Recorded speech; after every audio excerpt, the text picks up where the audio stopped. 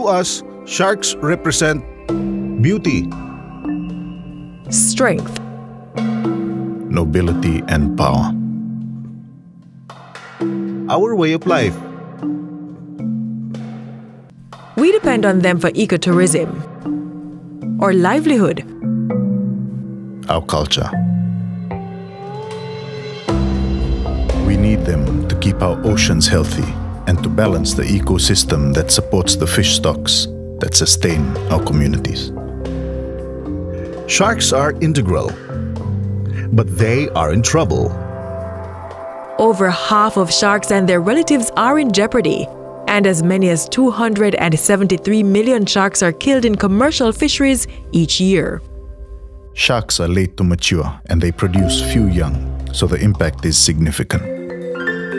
But we can do something about it. To save them. To save our ocean. Since 2009, governments have been giving sharks sanctuaries from commercial fishing, allowing them to thrive. Since 2013, leaders have started regulating international trade, giving 20 shark and ray species that are in high demand a greater chance to survive.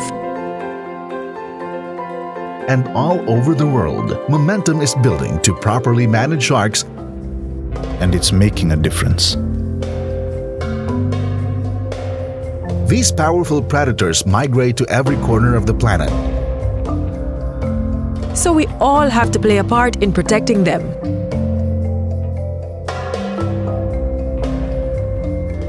Sharks are part of our heritage. Let's ensure they're part of our future.